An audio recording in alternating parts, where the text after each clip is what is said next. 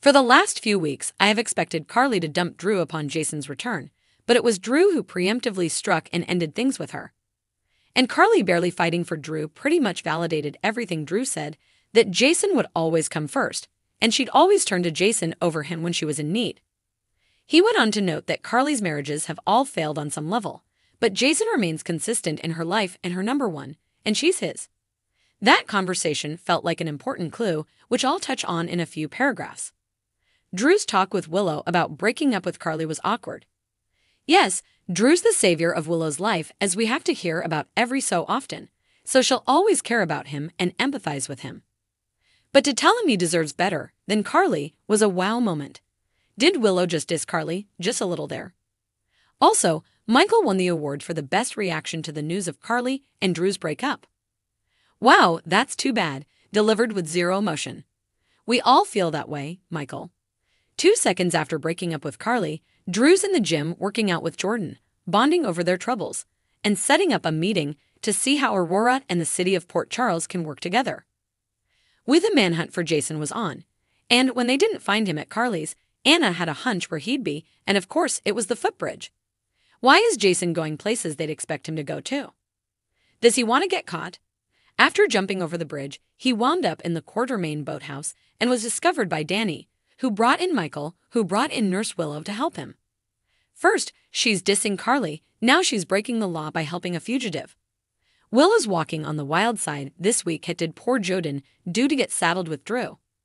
I don't think anybody asked for this when Michael noticed Jason came back with a full religious arm sleeve. He asked, What happened to you?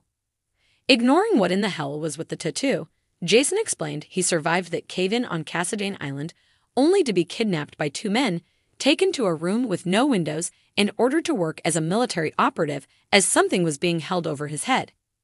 He couldn't say who hired him or what was being used against him. Later, through his own flashback, we learned Jason was taken to Quantico and forced by John, not Jagger, Cates to work for the government. And it was evidence of RICO violations, which carried at least 20 years in jail being held over his head. Okay, first, John Cates.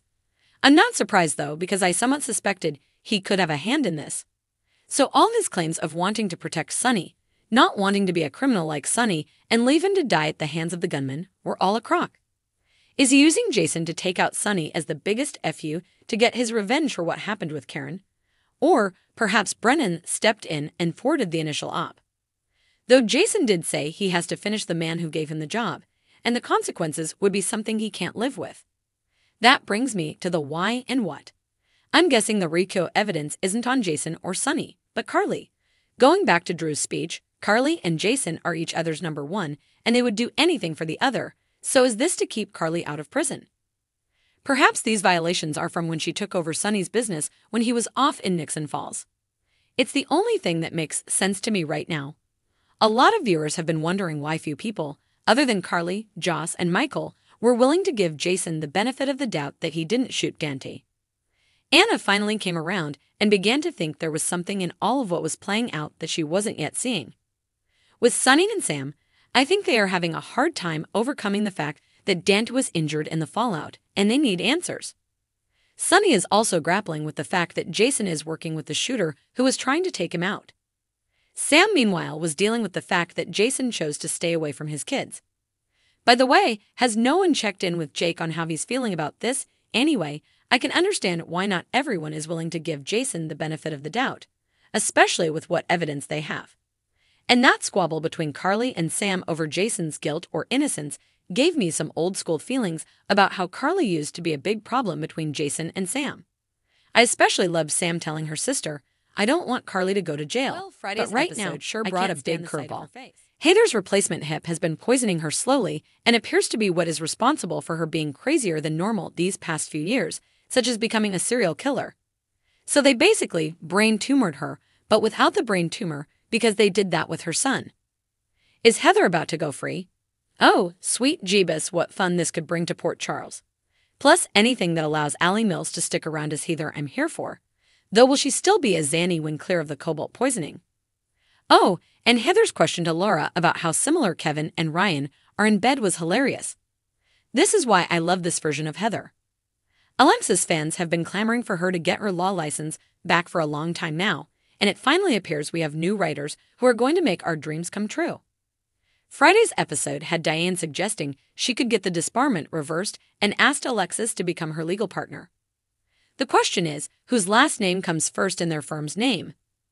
The scenes over the vape between Jake, Finn, and Liz were no surprise to anyone who lived through the 80s and 90s.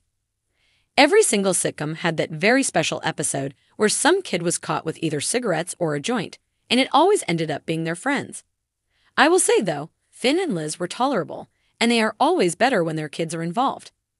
The never ending story of Marshall's misdiagnosis finally seems to come to an end, and it all was due to a racist and opportunistic doctor. I'm glad to see them at least using this story to tackle racism and the fact that some doctors abuse the medical system. But now that it's over, can we move on to something new? I'm a fan of Nina, but I'll call her out when she's wrong, and she was damn nasty with Alexis and poor Gregory on Friday's episode. Sadly, Gregory told Alexis Nina was partially right, and he's unable to live up to publishing standards due to his ALS and has quit the paper. Between Gregory going and Nina taking over, it really is looking like Alexis is headed back to law where she belongs. A colleague here at the site joked if Dex wants Joss to let him go, perhaps he should stop getting naked around her. So true. And though I did not like Nina's actions towards Alexis and Gregory, I was all for her shutting up Carly Jr. and revealing she once saw Dex sneaking in and out of Cyrus' room dressed as an orderly. Next week's blow-up between Dex and Joss should be good. Oh, who am I kidding? It will just end up with them in bed. Agan Blaze's mom reaching out to have breakfast with her and talk seemed like she might be open for an honest discussion, but nope. Oh boy, did she only make it worse for her daughter by suggesting she was experimenting with Christina after the trauma of what she endured with Link. That's up there with the old, you just haven't found the right man excuse. She refused to listen to Blaze, who has stated she's gay, and she's been with other women. As much as I squirmed at what Natalia said, this story is playing out to a lot of truths people believe when it comes to gay people and therefore is important to tackle head on. That's all for my opinions on this week's episodes of General Hospital.